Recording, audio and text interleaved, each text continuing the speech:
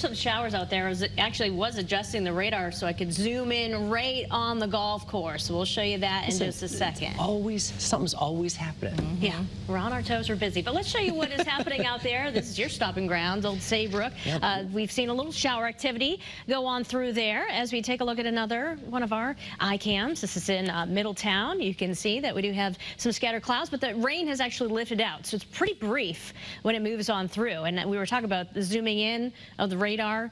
And this is great. You know, when you have uh, live radar, it's going to be very accurate as to the movement of these showers. There's no delay.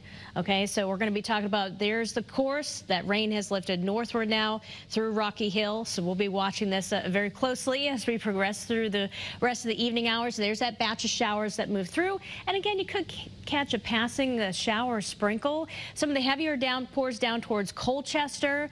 Uh, so let's see, looks like Essex and Old Lyme. We're seeing some of those heavier down downpours. And as we show you the big picture on early warning pinpoint Doppler, there have been a few lighter showers off to the north and east. But as a whole, more areas are dry than wet, but we can't rule out a passing shower over the next couple of hours. And then there's going to be a break, a little lull in between another batch that's set to head our direction for tomorrow morning. So let's show you future Futurecast, give you an idea of kind of the radar, how it will trend through the rest of the evening. Again, hit or miss. Now look at tomorrow morning, 7 o'clock, tea time there will be some issues certainly for that or any plans to be outdoors early in the morning. We do have some showers, heavy downpours, but by the time we get towards 11 o'clock, noon, most of this is out of here and lifted on out. So just an isolated chance after that for the rest of the day. But again, mostly dry in many areas for several hours. So just have that plan B just in case. And then as we get into tomorrow night, could be a few weakening showers, but uh, Sunday doesn't look as bad now.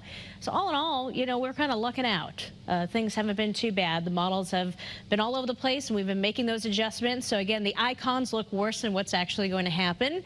Morning hours looks the wettest on Saturday for the travelers, and then during the afternoon, can't rely on isolated shower storm. Same goes for Sunday in terms of the afternoon isolated shower storm. Not seeing much rain in the morning at all. Maybe a little fog and mist, high 84 degrees.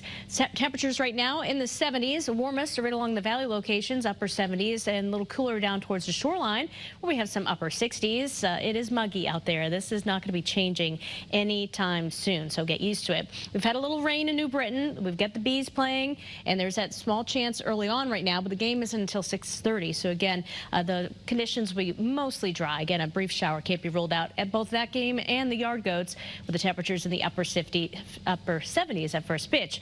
And the middle and upper 70s along the beach if you are headed there. And we get the rain in the morning hours during the afternoon. Just keep a watch out for an isolated shower or thunderstorm that pops up in the heat of the day. But there's your weekend forecast. Low 80s inland, upper 70s shoreline, mid 80s on Sunday and low 80s along the shoreline. And look at next week. Unfortunately, I've had to add back in some icons for chances for showers and storms. Looks like that unsettled pattern is not giving up anytime soon. And that muggy air is going to be holding tight too with us with those overnight lows in the upper 60s to around 70 degrees. There's a look at shoreline temperatures. We'll keep you updated on what's happening on radar. Another live report a little bit later. All right.